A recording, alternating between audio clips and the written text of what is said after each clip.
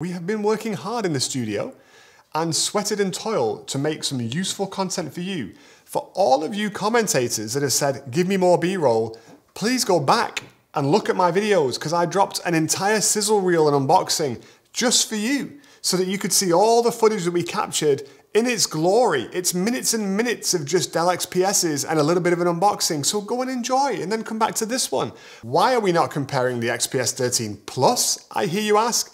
Well, the Plus was a higher spec, it's got the 4K screen. I didn't think it was a fair comparison with devices that are about 999 and 699 in price point. So we, we went for the lower spec XPS 13 that I had in the studio because it's around that $1,000 mark. If you're spending that kind of money, high hundreds to a thousand in the Surface range, these are the, really the two devices you're gonna look at. The Surface Laptop Go 2, which I have already done a review of, so you can go check that one out and the Surface Laptop 4 that I have also done a review of a long time ago when that one came out. So you can go and feast your eyes on all of those reviews and I'm not going to repeat everything here that I talked about there. What I do want to talk about now is some of the nuances that you might care about like screen size and how the different ratios affect things because as you look at this footage here now, you instantly realize Microsoft's approach with the 3-2 screen ratio that gives you a taller display has some interesting side effects.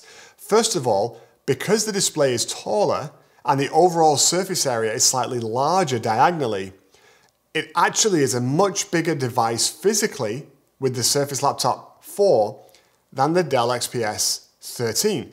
It's 0.1 of an inch bigger when you look at it on paper, and you might not realize in actual fact it's significantly larger than that when you put them side by side, or in this case, take a look at this shot top down of the two devices where you can clearly see just how much extra height and also width you have gained with the Surface versus the XPS. Now, the Surface has some larger bezels. We're to look at that in a second when we compare the screens. So bear in mind that also gives the physicality a little bit of extra space. But if you're conscious about sticking this in a backpack, you want it as small and light as possible with as much screen real estate as possible, the XPS is probably going to be a little bit more interesting to you. Your trade-off, obviously, is going to be a little bit of build quality because the Surface devices seem to have very, very good build quality now that we're into fourth generations, third generations, and that kind of stuff. Microsoft is definitely the premium player here. The feel of it, the magnesium alloy, it, it feels superb. Not that the Dell doesn't, but there is something softer about the touch of the Surface device. And to be fair, even the Surface laptop to my fingers here, I'm gonna bring this one just into the shot for my second shot, but even on the Surface Laptop Go 2, I feel like the materials, I don't know what it is, it feels a bit smoother. If, if you were sanding wood, it's almost like the Surface devices have been sanded with a 300 grit or a 400 grit, and they've got really, really smooth but not quite like shiny chrome. And it's like the XPS has been sanded with maybe a 150 or a 180 grit. So it's pretty smooth, but it's not quite there yet. That's the best way I can describe it for you. When we're talking about size, let's also look at the Surface Laptop Go 2 because you might be thinking, well, Mike, that's a $699 laptop. It is. But they make some higher powered options in that. And so if the size and the form factor makes sense for you, you can get a little bit more memory, a little bit more storage and those kind of things to bump it up if you want. And again, it's got a Surface Laptop keyboard, which, which are great keyboards. The 3.2 screen gives you some extra height. So it isn't that much smaller than the Dell XPS as far as usability goes when you're working, but to get it in your backpack, it's a lot smaller than a Surface Laptop 4. So if you wanting to go Surface and Microsoft, less bloatware, maybe a little bit better support, maybe a little bit better build quality. You've really got two options that can compete and go head to head with the XPS. The other nuance and wrinkle here, and it's probably not so important right now, but it will be in a few months time when they release Surface Laptop 5. Microsoft gives you the choice of an AMD or an Intel processor. And so right now in the, in the Surface Laptop 4 range, that looks like an 11th gen Intel but it's, it's actually a previous gen AMD chip. They call it a Microsoft edition or whatever, but they really didn't change a whole lot. They just missed the timelines of AMD's newer mobile processors right when they wanted to release Surface Laptop 4. Now, you might be thinking to yourself, well, hang on a minute, isn't that going to happen again? I don't know that it is because AMD's already been showing off the new gen, the new new gen of their processors. And I think it looks like timing wise, they're going to be released before Surface Laptop 5 comes out. So ideally, we're going to see a 12th gen Intel and latest gen AMD in Surface Laptop 5. That's going to give us a fairer comparison for power because obviously the 12th gen chip is a little bit beefier than the 11th. But it's also going to give you that great opportunity to say, hang on a second, I can go AMD here. I'm not only limited to Intel. And I think that's a great choice that Microsoft gave its end users. Don't have that in the Surface Laptop Go 2, so keep in mind that's only in the bigger Surface Laptop 4, whether you go for the 13.5 or the 15 inch. Battery life's another thing we want to talk about here before we get to screens and keyboards, because I know what you're thinking. I think it all the time when it comes to Windows laptops. How is the battery life? How is the battery life? How is the battery life? Let me tell you, in these devices, Surface Laptop 4 wins. It's the best battery of the three that I've got on my desk right now. Yes, it's the AMD chip, which is a little bit more battery than the Intel chip anyway, but it wins. And one of the reasons it wins is because it doesn't heat my legs like I'm grilling barbecue. The Dell can get a little warm. The Surface Laptop Go can get a little warm, which was surprising to me. They actually use a rubber feel material on the bottom. I guess it dissipates heat better, but it transfers heat better. So if it's on your lap, you're gonna feel it. I live in Houston, Texas. I got all the heat I need outside, okay? I don't need more inside. So that's something to keep in mind. Surface Laptop 4 is gonna run cooler, it's gonna run longer. The fans are nice and quiet. None of them are particularly loud.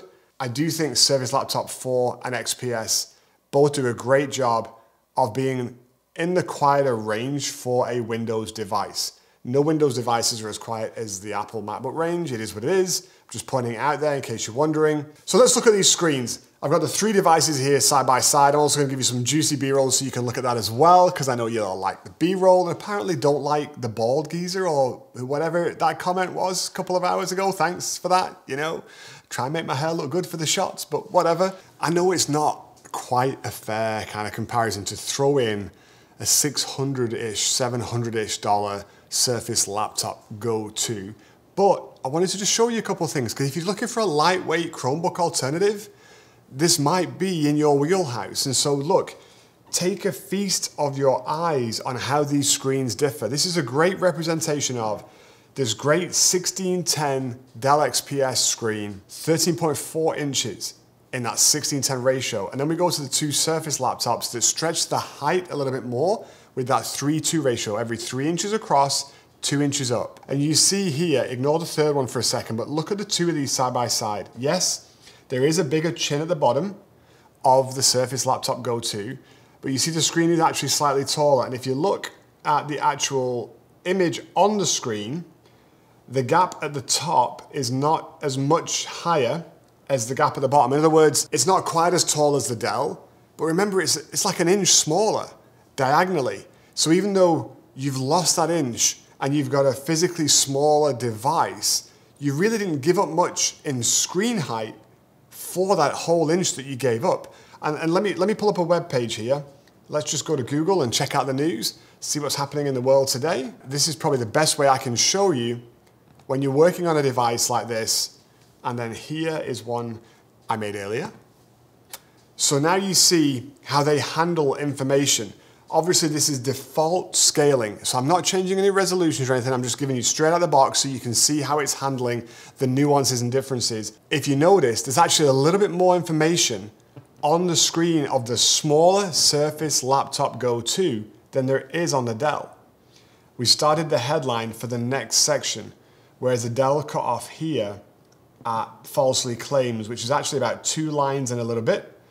So height-wise, you do gain and win, with the Surface laptop. Width-wise, doesn't really make much of a difference because practically, if you full screen either of these laptops, you're gonna have all the width that you need to make things work. So what I'm saying is, if ultra portability is important to you, you're doing lightweight work, web, email, browser-based text documents, that kind of stuff, nothing really pushing it too heavy, you could save hundreds of dollars based on the screen comparison and go for a Surface Laptop 2. Yes, it's an 11th gen chip, not a 12th gen chip, but for those kind of use cases, that's not really going to be that big of an issue.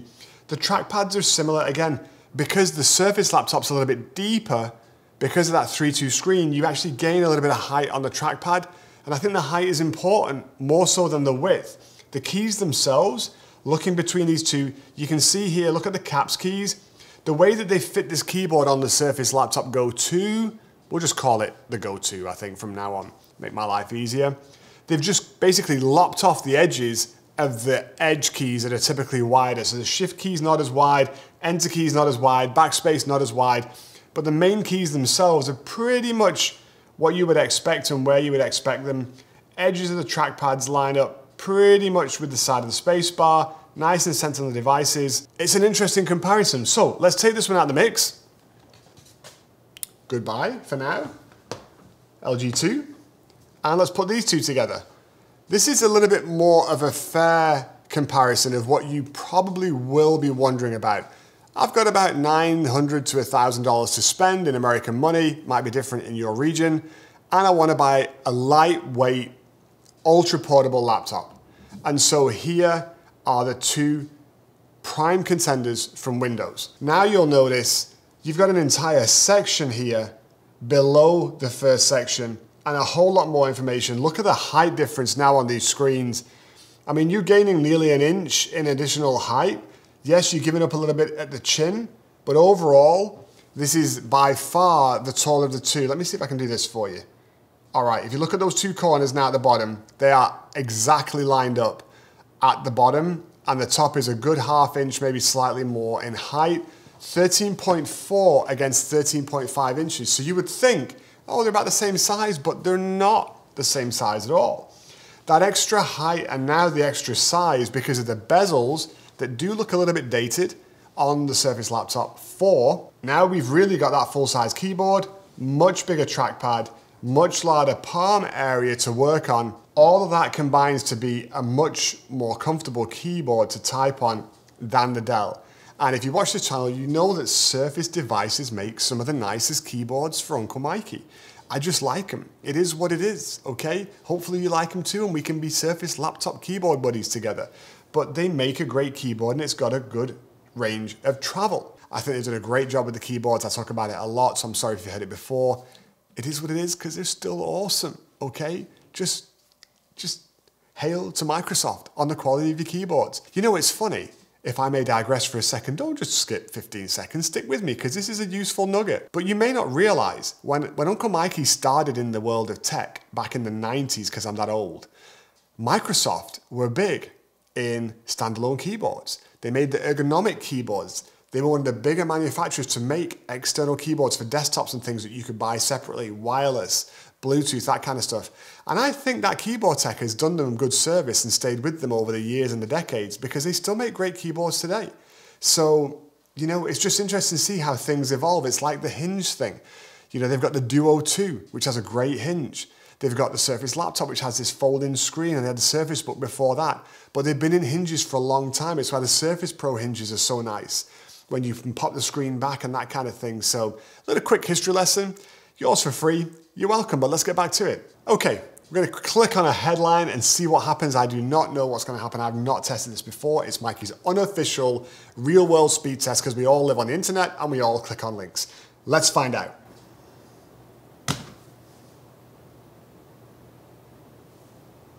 Okay, 12th gen wins. The Dell loaded that page a little bit quicker. Remember, this is a Surface Laptop 4 with the AMD Ryzen, which was the previous gen Ryzen, I think, when it came out.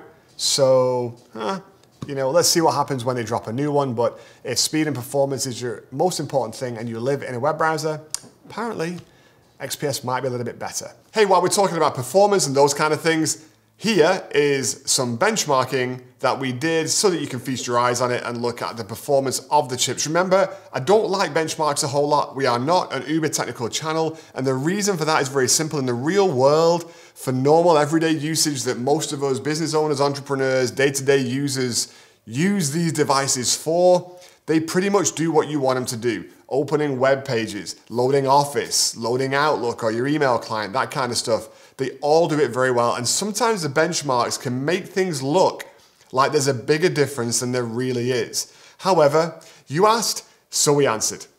All in all, I think we're getting a familiar feel here.